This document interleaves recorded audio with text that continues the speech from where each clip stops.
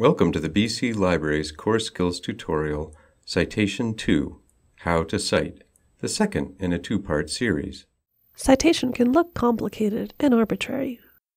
But in spite of formatting differences, citation styles all require the same basic types of information.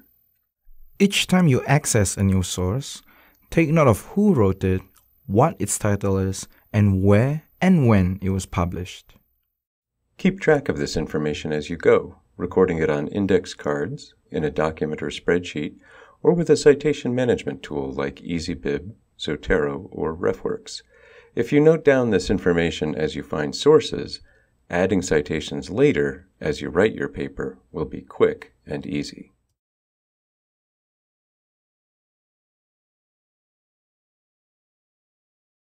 Where you find source information depends on the type of publication and its format. Here are a few possible publication types. For a book, the title page and copyright page should provide the information you need. All of this information is also in the library catalog.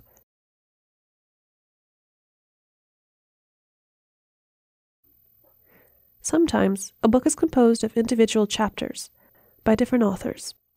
If this is the case, you'll need the chapter title and author, in addition to the book title and editors. For a journal article in a database, everything is right in the database main entry itself. In most databases, you can also export directly to a citation manager. Keep in mind that many journal articles have multiple authors. Make sure you record all of them. Also, you might be used to recording publication dates from magazines or newspapers, but when, for academic journals, is usually noted as volume and issue. Volume is often numbered by year from the first year of publication, and issue is often numbered in sequence within a volume.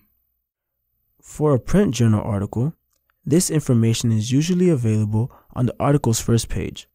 You may also need to check the journal's table of contents for the volume and issue numbers. Websites are less standard. The title of a page name of the site, and author are often found near the top of the page.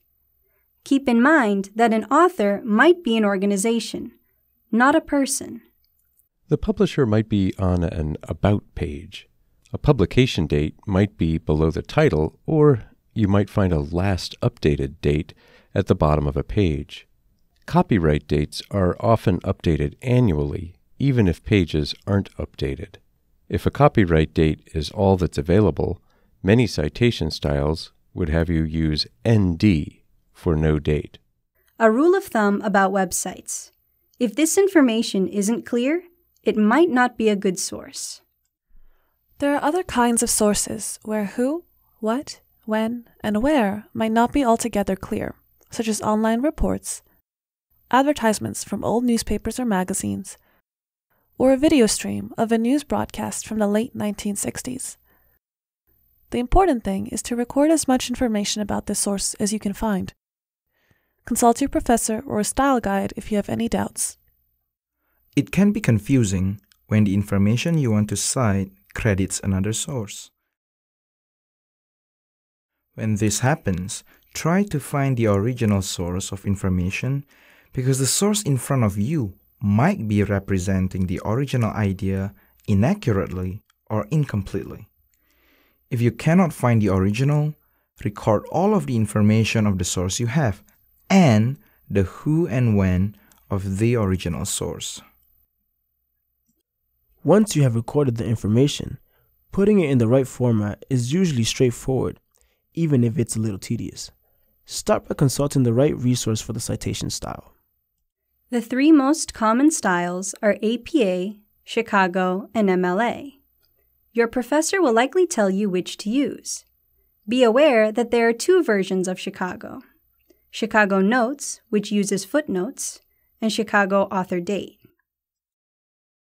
A full citation has two parts the citation itself and a bibliographic entry. The citation is brief and located in the text. Its purpose is to point to the full bibliographic entry. Some, like footnote numbers, just point to the entry. Others, like an author and date in parentheses, give additional information about authorship and currency.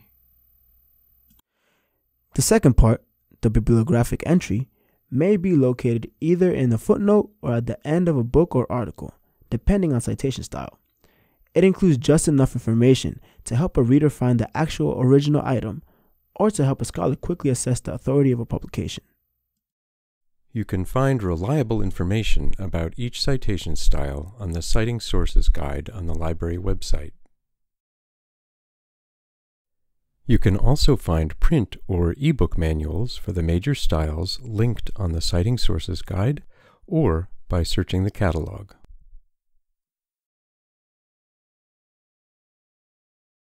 Don't forget that librarians are always available to help. They cannot ensure your formatting is 100% correct, but they are happy to help you find the right citation resources to guide you.